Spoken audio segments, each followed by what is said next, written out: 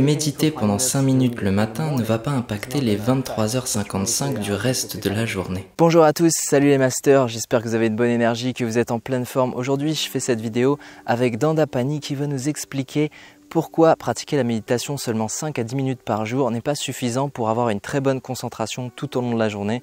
Il va aussi nous parler de la technologie et de notre vision sur la technologie, puisque souvent les gens pensent que la technologie est en fait un poison pour l'humanité, alors que peut-être que finalement c'est peut-être un outil euh, intéressant. À méditer. C'est parti une chose que les gens me demandent souvent est La méditation peut-elle réellement nous aider à nous concentrer? Ils viennent me voir parce qu'ils savent que j'ai vécu dans un monastère et l'une des premières questions est régulièrement Serais-je capable de rester concentré tout au long de la journée? Méditer pendant 5 minutes le matin ne va pas impacter les 23h55 du reste de la journée. La première étape est de bien structurer votre journée. Et lorsque vous vivez votre jour correctement, alors cela peut éventuellement aider votre pratique méditative. Votre pratique va évoluer. Et là, votre méditation de 5 minutes aura de l'impact sur votre journée. Mais cela commence par une journée soignée. Ensuite vient la pratique méditative. Et enfin, la méditation influence la journée. L'exercice méditatif, en fait, peut s'adapter à n'importe quelle situation du quotidien et des tâches aussi simples soient-elles. Là où je porte mon attention, je porte de la conscience. C'est aussi pour ça qu'on appelle la méditation l'exercice attentionnel. Ça veut très bien dire que je ne suis pas obligé de rester dans la convention assis en posture de lotus pour pratiquer un exercice attentionnel et donc que mon attention, je peux choisir de ne pas la laisser absorber automatiquement par des éléments de distraction tout au long de la journée. Je peux faire l'exercice de m'entraîner simplement à essayer de porter mon attention sur les choses de façon consciente. Non pas parce que c'est automatique et parce que je me suis laissé captiver par le décor, par une scène ou par un élément qui a tendance à me distraire, mais simplement parce que j'ai décidé consciemment de poser mon attention ici et pas là, ici. Je pense que le point important présentement et que nous devrions souligner pour chacun d'entre nous est que toute votre journée devrait être une pratique, une pratique d'apprentissage de l'art de la concentration. Vous ne pouvez pas attendre de faire quelque chose le matin pendant quelques minutes et espérer que le reste de la journée vous pouvez partir dans tous les sens et vous laisser distraire. Cela ne fonctionne pas comme ça. Toute votre journée devrait être une pratique attentionnelle. Vous parlez à des clients, donnez-leur une attention sans partage. Vous êtes en train d'accomplir une tâche, donnez à cette tâche une pleine attention. Tout au long de votre journée, vous construisez votre pratique et après 5 à 6 mois, vous commencerez à être bon. Ce qui est intéressant dans cette vision de la pratique méditative, c'est que finalement l'entraînement de l'esprit ne s'arrête pas à votre pratique matinale, elle continue tout au long de la journée. Ça veut dire qu'il n'y a pas de limite entre le moment où vous allez commencer à pratiquer le matin et le reste du temps. Évidemment, votre pratique conventionnelle, elle, elle s'arrête, mais le fait d'entraîner votre esprit à revenir à une attention qui n'est pas partagée, une attention qui est sélective, qui est focalisée sur quelque chose, se maintenir tout au long de la journée. Par exemple, vous pouvez très bien faire un exercice attentionnel de concentration lorsque vous êtes en train de faire la vaisselle.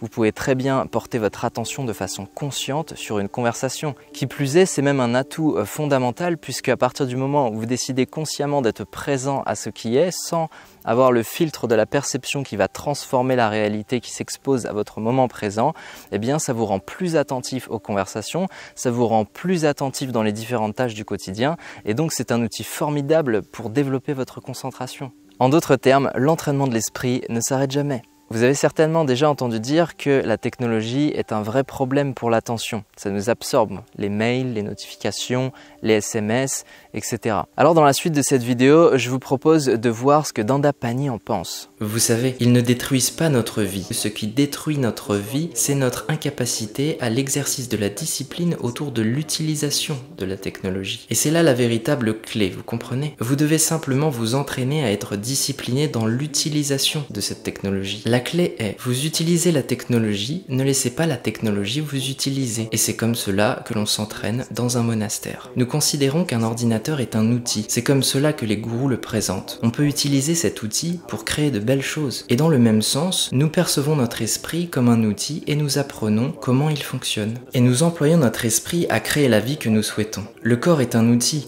On peut très bien comprendre notre corps pour vivre mieux avec lui. Lorsque vous parlez à des gens, vous avez un déjeuner avec eux, vous buvez un café, vous avez un rendez-vous pendant une heure, maintenez votre téléphone à distance, ne le laissez pas sur la table. Combien de fois allez-vous dans un restaurant ou dans un café et vous voyez deux personnes discuter, deux verres de vin et deux téléphones activement présents à la conversation? Et les gens disent, mais s'il y a un appel urgent? Écoutez, les seules personnes qui ont besoin de répondre au téléphone sans arrêt, ce sont les personnes qui travaillent pour le 911. Ceux-là doivent répondre à chaque fois. Personne d'autre n'a besoin de répondre aussi souvent. Si vous allez dans un monastère, vous allez certainement voir des moines avec des smartphones.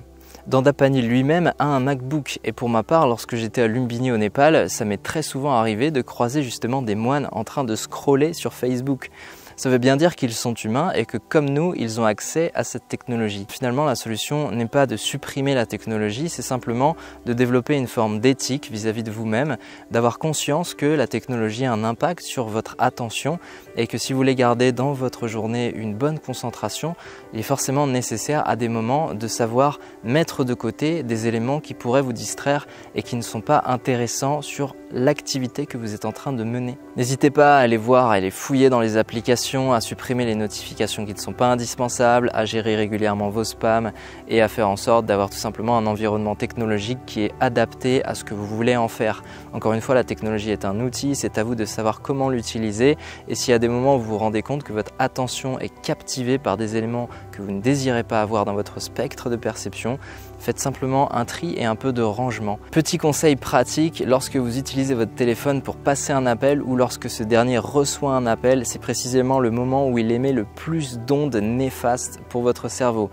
Et très souvent, lorsqu'on répond à un téléphone ou lorsqu'on appelle quelqu'un, on a le smartphone sur notre oreille. Et ça, c'est vraiment pas cool pour votre santé. Donc je vous invite vraiment à prendre conscience de ça et à ne plus le faire. Avant de vous laisser avec Danda Pani pour la conclusion de cette vidéo, je voulais simplement vous rappeler que si vous aimez cette vidéo, vous pouvez laisser un like, mais ça vous le savez déjà Vous le savez déjà Les commentaires et tout, tu sais Et tu peux t'abonner T'es au courant que je fais des formations en ligne et que j'ai fait une formation où je t'apprends à méditer 10 minutes par jour?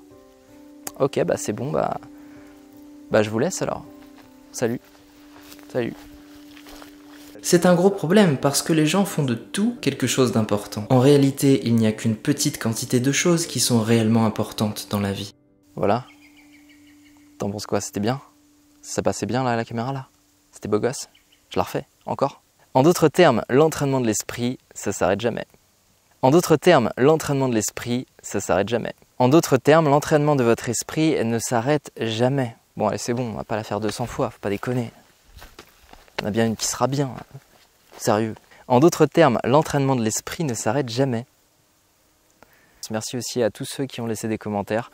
Je ne manque pas de les lire et si je les lis pas, c'est simplement parce que les notifications, elles sont désactivées.